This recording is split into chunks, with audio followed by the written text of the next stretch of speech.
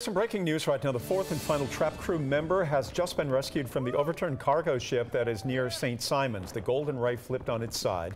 It caught fire yesterday. Four crew members were unaccounted for until this morning when rescuers heard noise coming from inside the ship. We're going to have more tonight on Up Late at 11.